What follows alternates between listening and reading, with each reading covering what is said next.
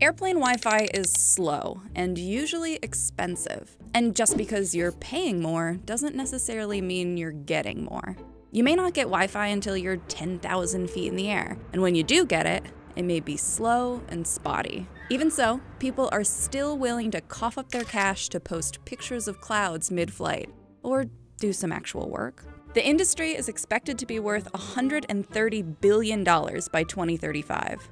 But if it's such a huge industry, why does in flight Wi Fi still suck?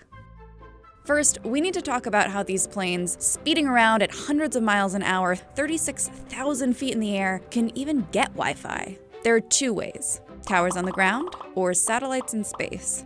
Let's look at the towers. This method is called air to ground, or ATG for short. Antennas on the belly of the craft pick up signals from cell towers on the ground. The benefit? You'll get less delay because the towers are closer to your plane than a satellite. The downside?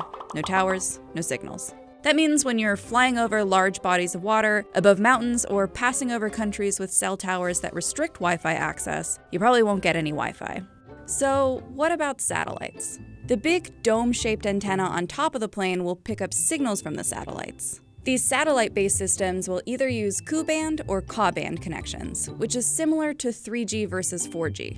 There's a whole debate on whether Ku or Ka-band is better, but they're both way faster than ATG systems.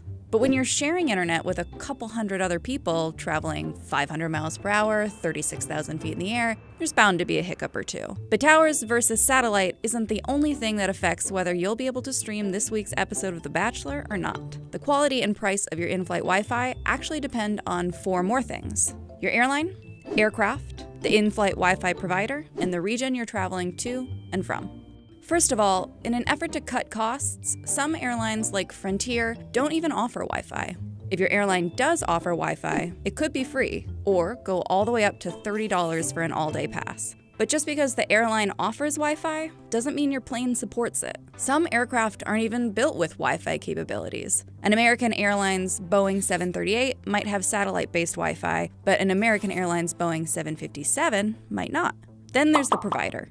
They all offer different speeds, which is crucial for watching those meltdowns in HD. And lastly, you'll need to factor in your route. If you're flying over a lot of mountains or an ocean, there probably won't be many towers along the way, and if the plane isn't equipped to receive satellite internet, you'll be completely out of luck.